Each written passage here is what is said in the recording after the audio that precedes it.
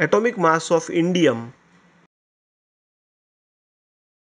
chemistry कभी भी strong नहीं हो पाएगा। अगर आपने इस वीडियो को नहीं देखा तो सर्च कीजिए most important atomic mass list USS academy और इस वीडियो को ज़रूर से देखिए। सबको दिखाइए सबको। इंडियम का एटॉमिक मास 115 होता है।